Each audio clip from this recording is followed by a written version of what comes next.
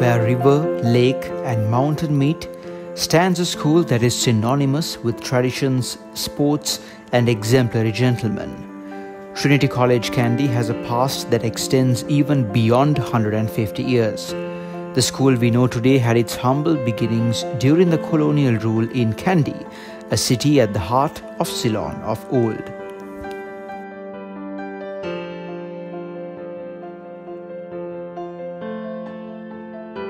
The earliest beginnings of Trinity run back to 1818, where a mission house was established on Trinity Hill, bordering the Udawatta Kele, to educate Kandians of the ways of Christianity and knowledge of Western arts.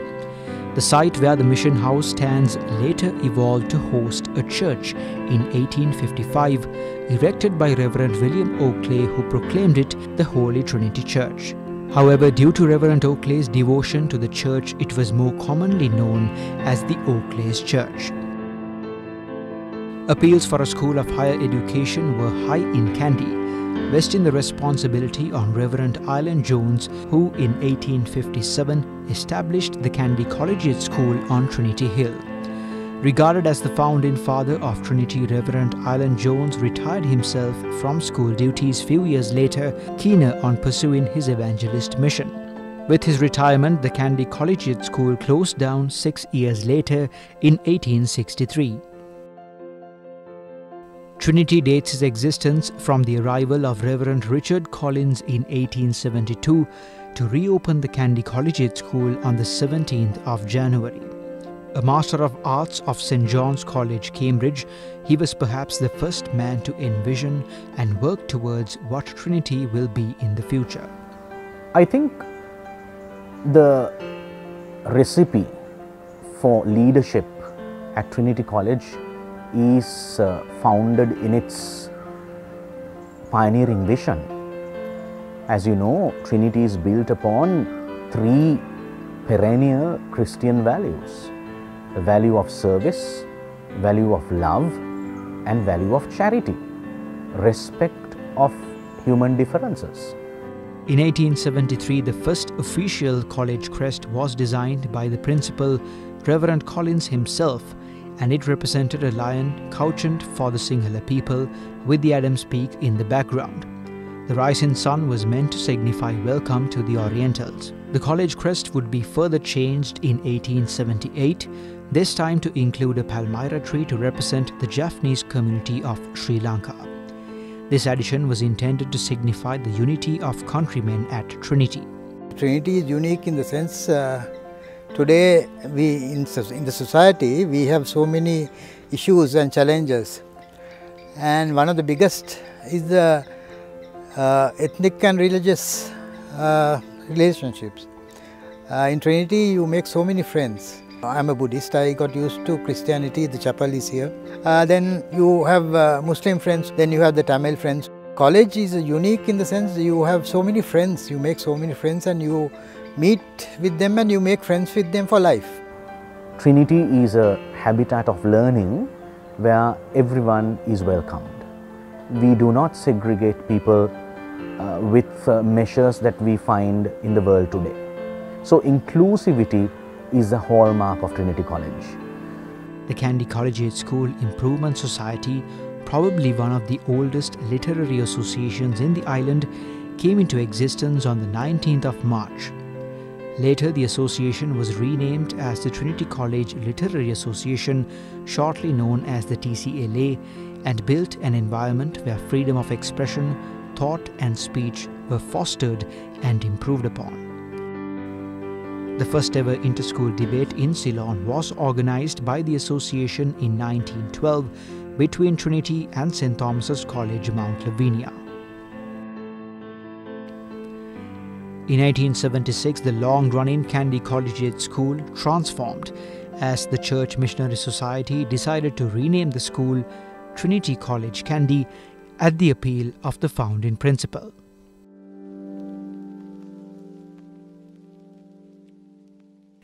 The years leading up to 1904 saw the school standards deteriorate, especially in the area of discipline. All of this changed and improved miles beyond thanks to the leadership of one man. Reverend Alexander Gardner Fraser was the son of the Lieutenant Governor of Bengal, India, and he was a distinguished scholar educated at Trinity College, Oxford. He was only 26 when he took up the reins of transforming a small school in the hills of Kandy to one of the leading colleges in the country. The Fraser era stands out because Reverend Fraser really established the school, a little school in the city of Kandy. He developed it into one of the leading schools in the island. And during his time period, school academic results, then the sports and extracurricular activities, the discipline of the school and the infrastructure development increased and developed leaps and bounds. Rugby was introduced to college during the years of Fraser in 1906. The first inter-school match ever played in the island was played between Kingswood College Kandy and Trinity. Rugby went on to be a defining part of Trinity and later produced one of the most anticipated college fixtures in the sport in the form of Bradby, an annual two-leg match played with Royal College Colombo since 1945. In a prize-giving address in 1908, Fraser made his vision for Trinity abundantly clear. Under a colonial tutelage where the study of vernaculars was discouraged by the government, Fraser made a point that a college fails if it is not producing true citizens and men and are isolated from the masses of their own people by ignorance of their language. In 1912, the present college crest was designed by Mr. L.J. Gaster, the vice principal at the time.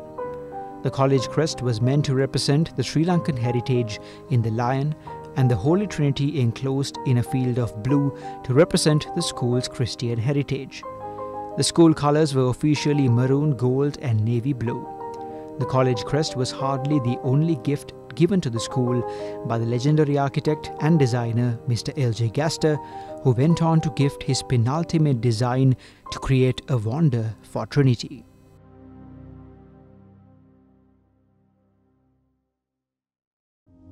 During the semi-centennial celebration in 1922, the foundation stone was laid for a building for eternity.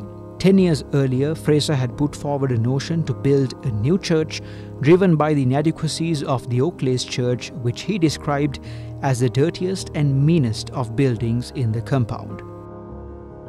The unique design for the iconic chapel that sits on top of Trinity Hill today was designed by the most remarkable Mr. Gaster, Vice Principal of college, who was also an architect and draftsman with remarkable intuition.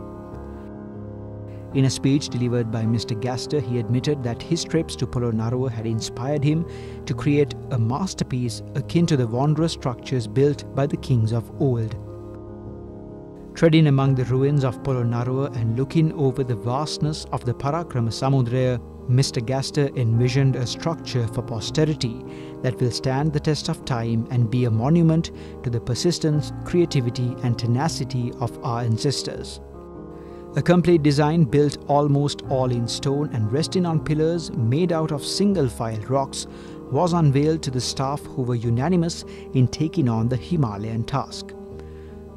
During that time, knowledge and expertise to construct a building of that style and complexity had been lost in time.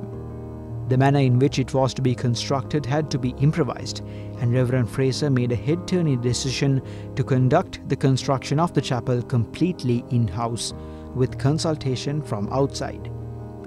The pillar blocks, 18 feet long and 3 feet square, were sourced from a stone quarry in Aruppola and brought to college on a special trolley which had to be pushed by two elephants from either end. The three ton stone pillars were expensive and difficult, limiting transport to only two stone pillars per month.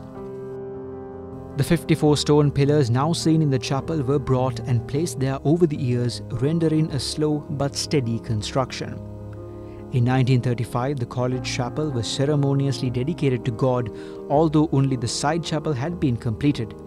Mr. Gaster, the pioneer behind the marvel, sadly did not witness this ceremony nor the chapel in its full splendor as he left Ceylon in 1934, leaving construction in capable hands.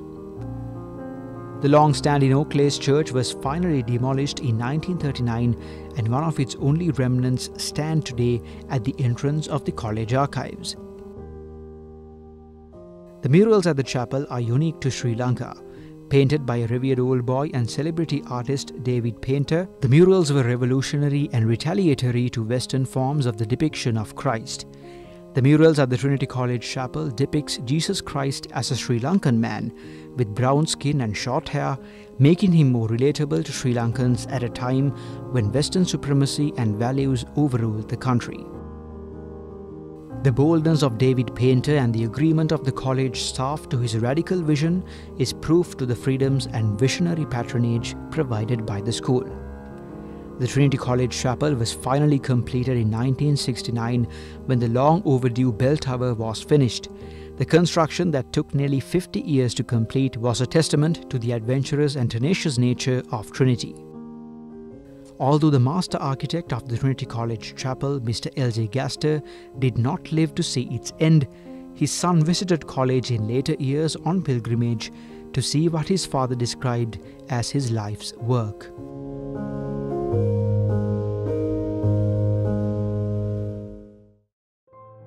Farming is a unique quality in Trinity that was introduced during the times of Fraser.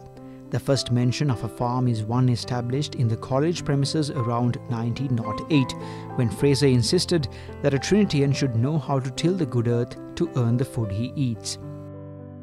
In 1925, John MacLeod Campbell laboured and got hold of a plot of land in Bahiravakanda with more space and freedom to expand and cultivate.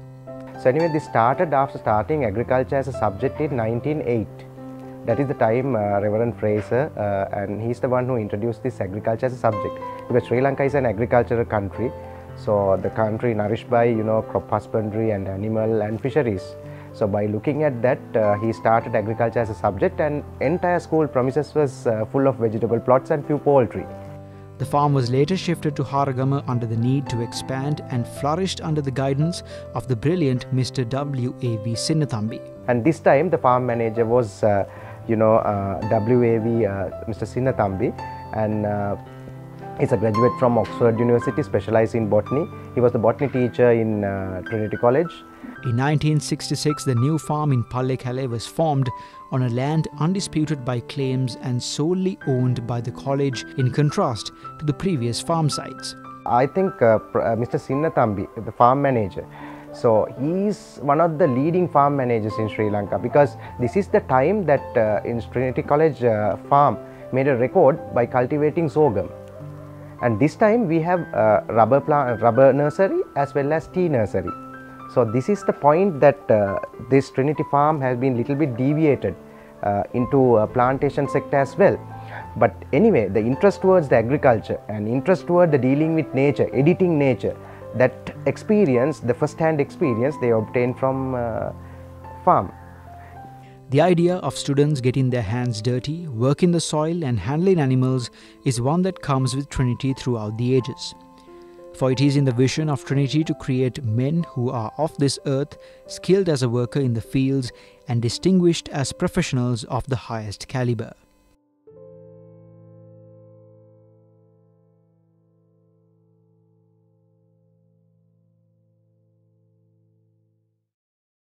Trinity College Kandy celebrated its centenary celebrations under Principal Lionel Fernando on the 17th of January and continued throughout the year in grand style. Yeah, I'm actually very fortunate that I was a student when Trinity celebrated the centenary year. Uh, now I'm the president of the OBA when Trinity celebrates 150 years. The change between the, the 50 years is enormous. The following years were especially difficult for Trinity as the country was engulfed in conflict due to the insurgencies in 1971 and 1989 and the shameful Black July riots in 1983. In 1971, we had a whole group of uh, Burgher friends who left Sri Lanka in 71 after the insurgency. It is mentioned in the books of history that Principal Dr. W. G. Wickramasinghe bravely refused mobs who broke into the school, demanding the youth to join them in the fight.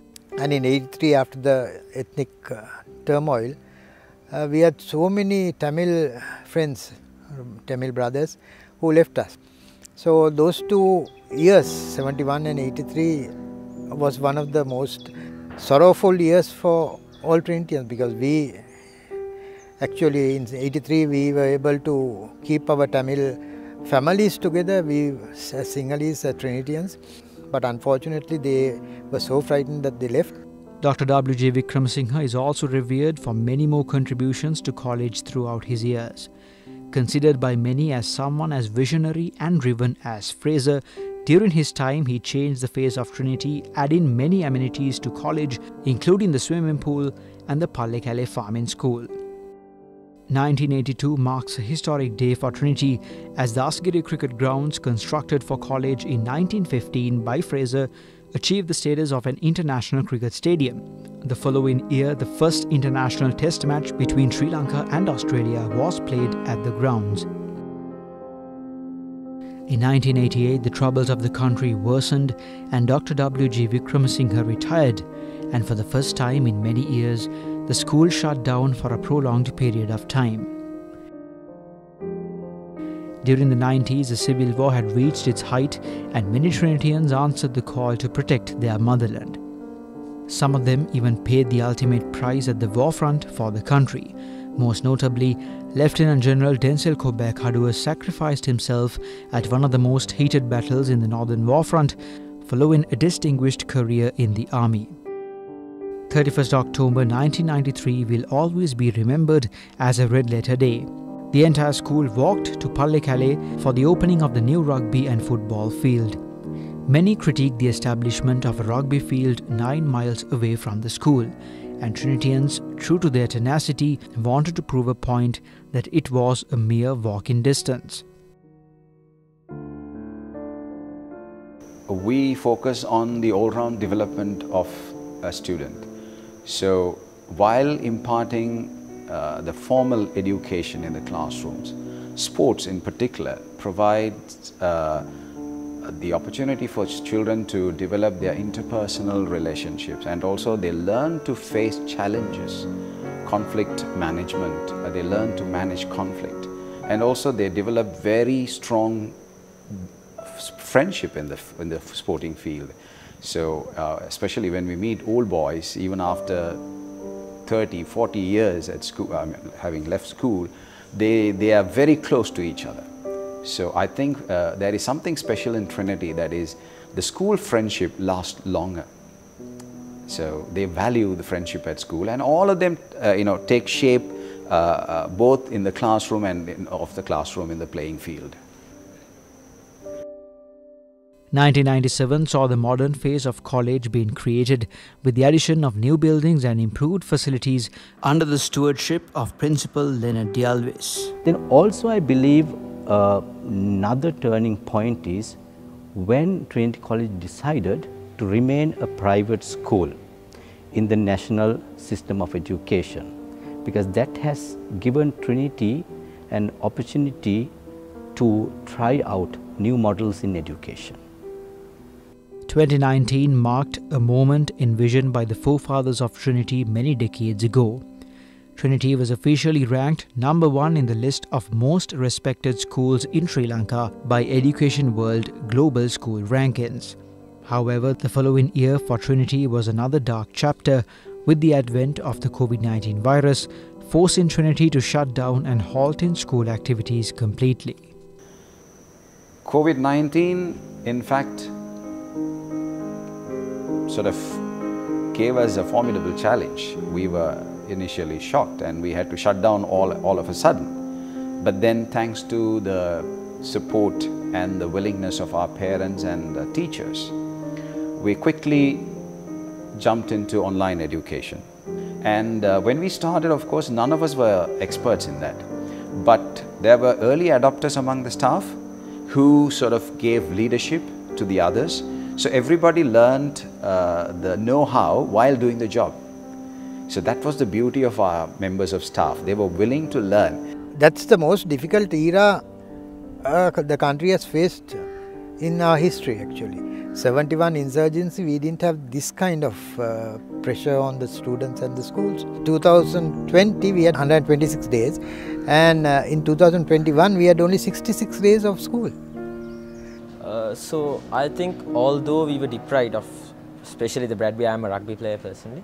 So Bradby is one of the most prestigious games that that is happening currently, and that being disrupted is kind of sad, and it's kind of a it's uh, it's kind of disappointing. Among the many qualities that we look in a Trinitian, I think the most important is the quality of adaptability. It will always be adaptability and a very strong sense of resilience. It also gave an opportunity to uh, develop our skills and also to realize our limitations. So the moment we were able to realize our limitations, we were open to learning. And that gave us the impetus to go forward. And I think now uh, we have been one of the schools in Sri Lanka who have been running a very successful online education. I believe that th- although they were disrupted, we can, we, we should, we should uh, pick up the pace and we should get those things back on track because I believe I can do it together with my school officers guild and together with the entire school community. Uh, so I believe that we can start from where we stopped.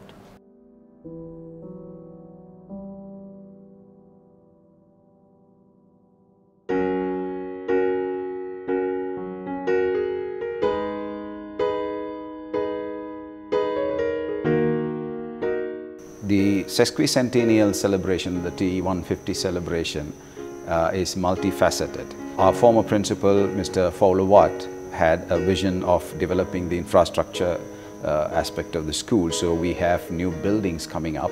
We already have uh, commissioned uh, Paul Jairaj uh, Hilaria Beratna building for advanced level and there is the science building to come with the state-of-the-art uh, facilities for lab and so on. So we have these uh, infrastructure facilities coming up and also we are refurbishing Napier to make it a multi-purpose uh, facility for students to engage in their learning activity and, uh, and the quadrangle is getting, the basketball court is getting renovated. So there are multiple projects uh, in, in terms of in, uh, infrastructure facility. In addition to that, we also have an aspect uh, of celebration purely meant for students. Students through their clubs and societies, they have uh, planned their projects and events throughout the year. So what we started already on the 17th of uh, January with the Founders Day celebration. This is going to be an year-long uh, sesquicentennial celebration culminating with the uh, carol service in December. Yes, the present state of the farm. Uh, again, we have uh, blooming up period. Like it's it's a good time. Now again, uh, things are turning into good side. But there was a period, you know, people deviating from agriculture-related uh, subjects uh, into uh, technology-based subjects like computer. But now uh, there is a trend, you know, children asking or they are coming and they like to deal with these animals and wearing uh, wearing boots and working in the field. So that type of you know a new era is coming up. It's going to be a very competitive arena in the next 150 years, right? Uh, students are going to be challenged on whatever they do. So they have to be 100% perfect in whatever they do and uh, whichever career they select, they have to be 100% sure of uh, what they are hoping to do. At the moment, we have uh, uh, a very good facility coming up. Very soon it will be commissioned. So far, we have been talking about career guidance in schools. In Sri Lanka, everybody talks about it. Uh, but there is no systematic approach to career development as such. Uh, it's like whoever wants to get into a job, they, they get connected through school. We have our links, we have our old boys in various places. So Trinitarians have that opportunity of getting into places. But uh, now we are focusing on developing a proper career guidance uh, department where we are going to name it as Center for Excellence. So this Center for Excellence is going to be a new uh, addition which I think definitely going to contribute to the growth and development of our students both at school and after school.